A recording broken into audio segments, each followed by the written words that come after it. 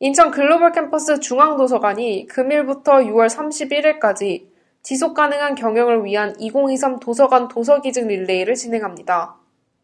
본 기증 릴레이는 재단 내 직원들을 대상으로 진행되며 캠퍼스 내 기증 문화 형성 및 활성화와 도서 기증을 통해 인천 글로벌 캠퍼스 직원들의 화합 및 소통의 장 마련을 목표로 진행됩니다. 2023 IGC 재단 도서 기증 릴레이는 4월 24일부터 6월 30일까지 총 10주간 선발 조사를 시작으로 인천 글로벌 캠퍼스의 10개 팀이 순서대로 도서 기증에 참여하는 캠페인입니다.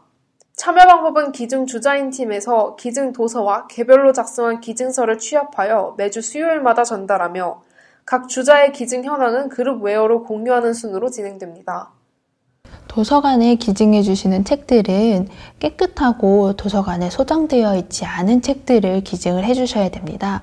그래야 도서관에서 오래도록 보관할 수 있고 모든 사람들이 함께 공유해 볼 수 있기 때문입니다.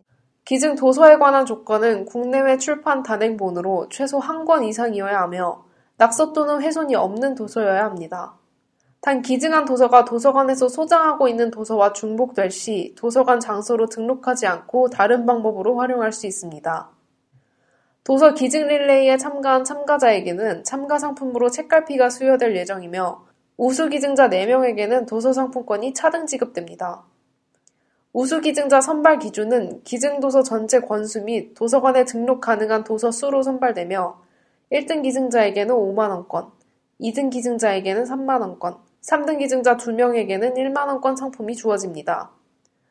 본 도서기증 릴레이 우수 기증자에 관한 결과는 2023년 7월 중에 발표될 예정입니다. 어, 환경 문제가 사실 우리 요즘 굉장히 심각한데 이를 해결할 수 있는 가까운 실천 방안으로 집안에 있는 책을 기정함으로써 의미 있는 나눔을 실천해 보셨으면 좋겠습니다. 이 릴레이가 나아가서 입주대학과 학생들에게 또 참여할 수 있는 행사로 좀 더 발전되기를. 본 행사의 주최 측인 RGC 캠퍼스 운영본부는 기증을 통해 나눔을 실천하고 나아가 도서관 발전을 위해 RGC 임직원들의 많은 관심과 참여를 독려했습니다. IBS 최서연입니다.